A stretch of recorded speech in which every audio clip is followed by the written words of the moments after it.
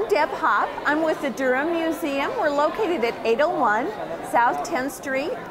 We are a train station building that has been converted into a museum. Our volunteer program can deal from anything from educational tours to scooping ice cream. So think of us.